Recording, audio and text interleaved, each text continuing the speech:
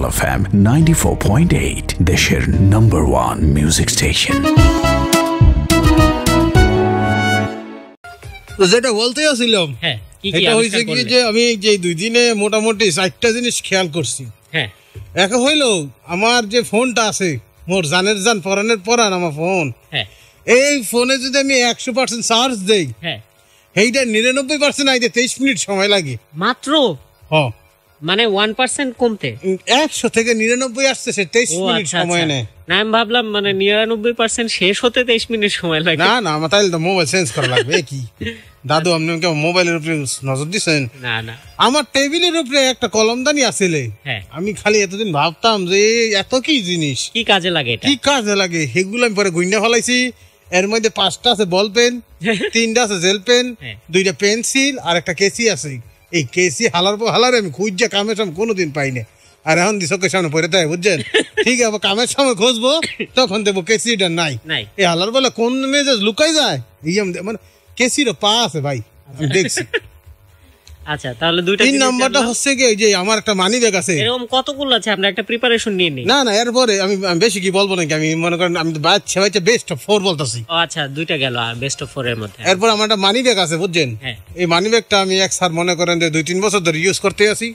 মানে এই money bag আমি চেঞ্জ করি কখন? কখন? যখন মানি ব্যাগ আমি মানি ব্যাগের দিকে তাকাই না মানি ব্যাগ সব খুলে আমার দিকে তাকায় থাকে। তখন তখন আমি এই মানি ব্যাগ চেঞ্জ করি। তো মোটামুটি তিন চার বছর ধরে আমি মানি ব্যাগের জন্য অপেক্ষা করছি সে আমার দিকে তাকাইতে আসে না।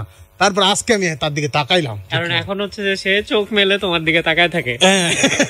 কি রে টাকা ঢুকাবি না? খালি আসস নীতি আসস। আচ্ছা। মানি ব্যাগে টাকা ঢুকাবি কবে? এই আর কি তার সাথে আমার একটা সম্পর্ক।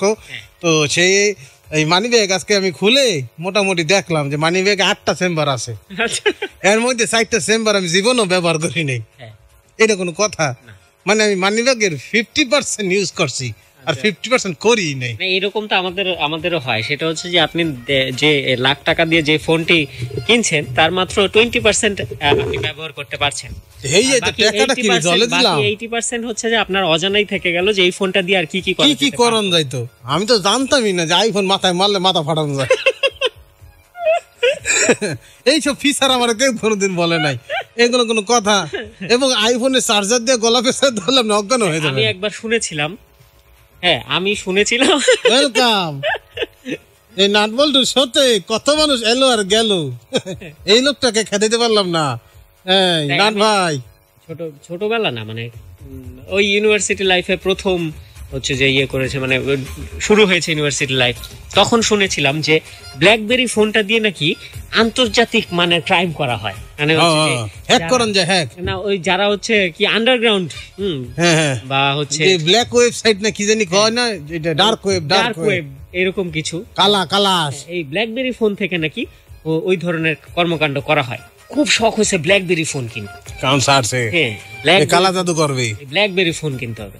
তখনকার সময় দুই হাজার কত? ওই দুই হাজার বারোতে যখন হচ্ছে দেশে আসলাম তখন হচ্ছে ওই ব্ল্যাকবেরি ফোন নিয়ে আসলাম একটা।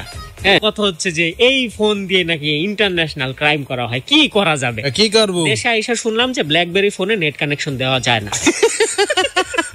এটা ইন্টারন্যাশনাল ক্রাইম আপনার সাথে হয়েছে।